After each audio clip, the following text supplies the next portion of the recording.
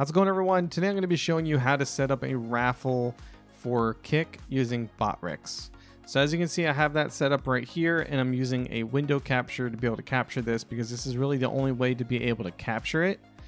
But if we go to the actual page here, we have it to where you can give it a command and this is the command that people are going to have to type in chat to be able to be added to the participant side. If you have subs, this gives them like a times two chance of winning and everything like that. And then accepting is to accept all of the participants, and to clean is to clean out all the participants. So, for example, if I go over to my chat and I type in the command that I gave it, you will then see my name right here. And then once all the names are in, then you can hit accept. And then it's going to do this. And you will also see it over here as well because you're doing the window capture for it. So your chat and everyone will be able to see it, and then it gives a countdown saying that you know the winner has to type something in chat in order to win, and it could just be something as simple as hi. And then once that's done, then they'll be able to see who is the winner and everything like that. It gives a timestamp and stuff like that.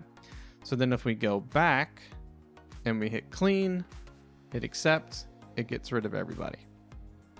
Now this will work for both OBS and Streamlabs.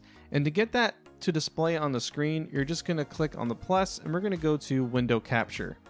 And with that window capture, it's then going to give you the option of choosing like the window and stuff like that. So if you don't see it, you may have to go through and mess with these different settings and see which ones you can kind of pick from and try to get it to, to show.